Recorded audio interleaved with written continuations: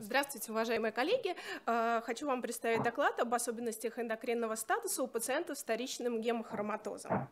Э, гемохроматоз – это состояние, которое характеризуется патологическим накоплением железа. Выделяют первичный, связанный с генетическими изменениями, и вторичный, который развивается при некоторых заболеваниях, э, например, при анемиях и переливаниях крови. К вторичному гемохроматозу мы можем отнести пациентов с бета-талассемией, про которых и пойдет речь в моем докладе.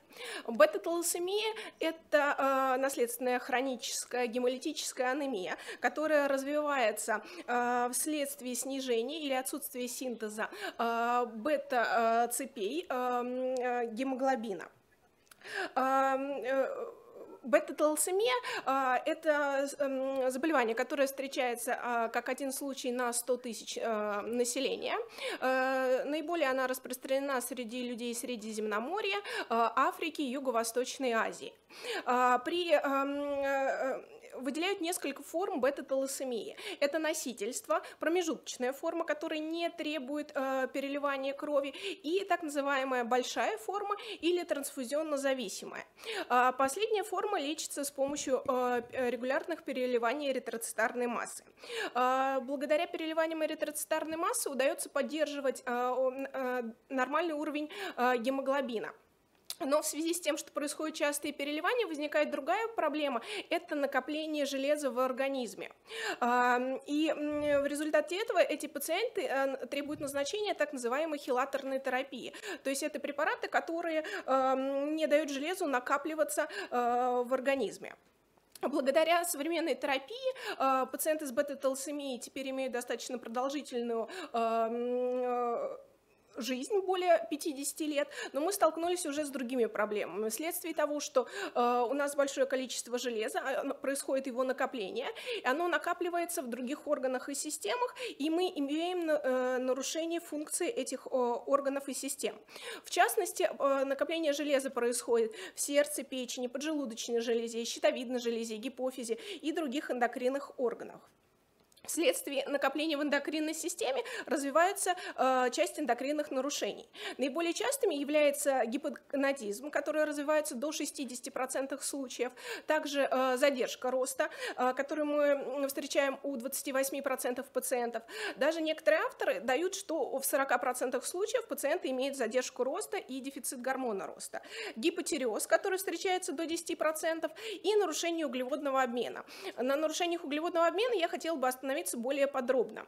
А, на нарушение толерантности глюкозе она встречается в 24% пациентов и сахарный диабет у 14%. То есть достаточно большая частота, и это требует нашего особого внимания. А, сахарный диабет а, при бета-талассемии, он относится к особой группе сахарных диабетов. Согласно алгоритмам специализированной медицинской помощи, его выделяют в отдельную группу, так называемые другие специфические типы сахарного диабета. Каков же патогенез нарушения углеводного обмена при бета-талассемии? А, здесь эм, два фактора. А, первый фактор – это развитие инсулинорезистентности, а, вследствие чего возникает гиперинсулинемия, плюс на фоне дисфункции печени из-за накопления в ней железа, и также уменьшение усвоения глюкозы мышцами, вследствие того, что железо также накапливается в мышцах. Это первое звено. Чуть позже возникает непосредственное токсическое поражение бета-клеток поджелудочной поджелудочной железы. А так как бета-клетка очень чувствительна э, к оксидативному э, влиянию, и также э, в ней очень много экспрессируется переносчиков э, двухвалентного э, железа, что э, нам показывает, что сама поджелудочная железа и бета-клетки чувствительны к накоплению железа. То есть получается, что на первом этапе развивается инсулинорезистентность, снижается чувствительность к инсулину, потом происходит поражение бета-клетки, снижается секреция инсулина и развивается сахарный диабет. Дополнительными факторами, которые ухудшают э, и увеличивают процент нарушения углеводного обмена, является наличие у пациентов гепатита С, семейного анамнеза по сахарному диабету и наличие генетических факторов. А, давайте поговорим о методах диагностики. Мы знаем стандартные методы, но применимы ли они э, к нашим пациентам с бета-талассемией? Уровень гликированного гемоглобина не является информативным, так как мы знаем, что при гемоглобинопатиях, при переливаниях крови его уровень может сильно э, быть искаженным. Да, и, как правило, завышенным. Фруктозамин – это один из вариантов и критериев, который допустим э, для оценки гликемического контроля у пациентов с бета-талассемией.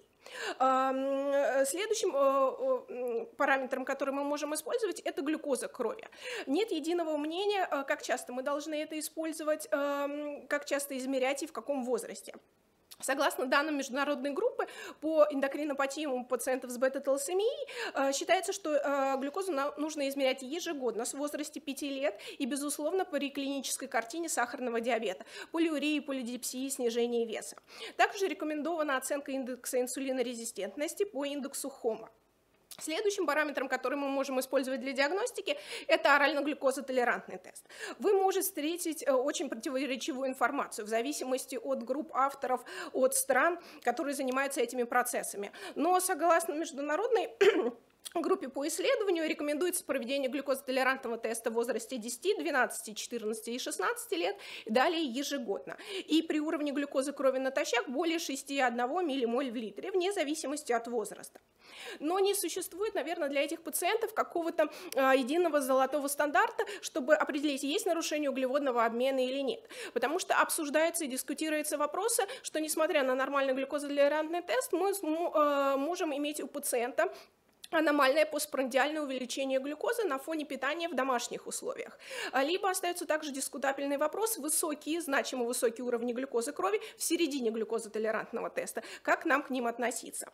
В связи с этим для пациентов с бета-талассемией а, допустимо применение непрерывного мониторирования глюкозы крови, когда мы имеем возможность часто измерять уровень сахара крови и следить за особенностями и на ранних этапах э, выявлять нарушение углеводного обмена и как это корректировать нашу терапию.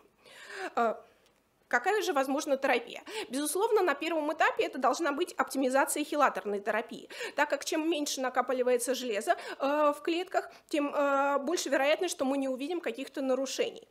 Безусловно, коррекция хилаторной терапии должна проводиться совместно с гематологами.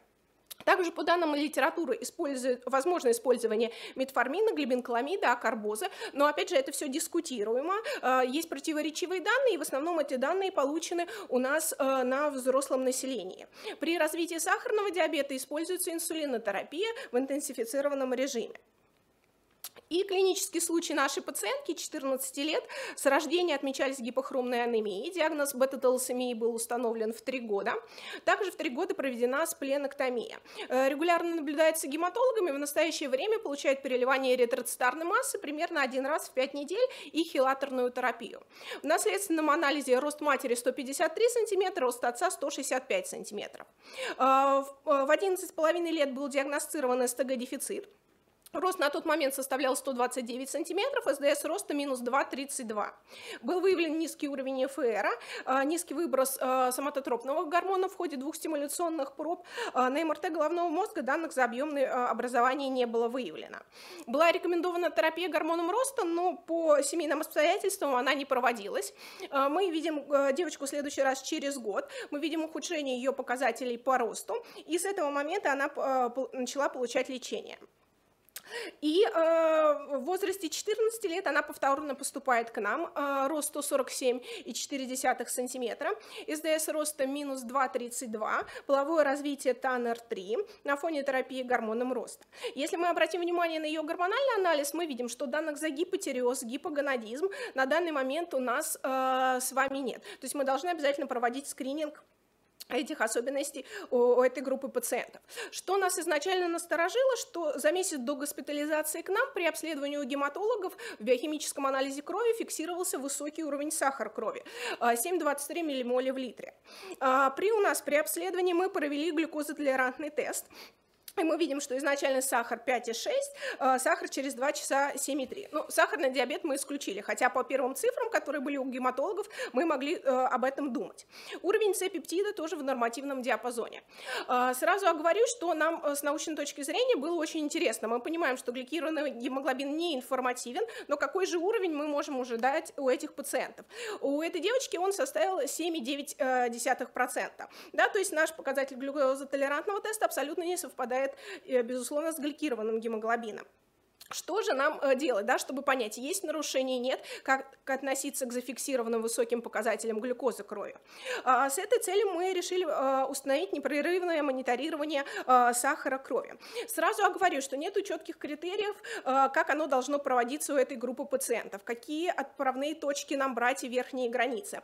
Но согласно последнему исследованию 2018 года на большой группе пациентов с а, было предложено, что верхняя граница должна быть как 7 7,8 миллимоль в литре.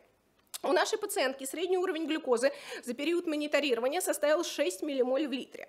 И если мы обратим с вами внимание, э, то э, мы видим такие достаточно высокие постпрандиальные подъемы э, в обеденное время. Если проанализировать ее дневник питания, то в этот период у нас были достаточно э, большие приемы углевод содержащих продуктов. И э, вследствие таких высоких постпрандиальных подъемов мы можем говорить о возможных уже начальных проявлениях э, нарушения углеводного обмена у этой пациентки. Безусловно, наша тактика будет э, сформирована на том, что мы с гематологами будем говорить э, о э, коррекции хилаторной терапии, но это больше в, ее рука, в их руках находится. С нашей стороны, пока на данном этапе мы только обсуждаем вопрос какой-то диетотерапии, да, ограничения количества углеводов и быстрых углеводов.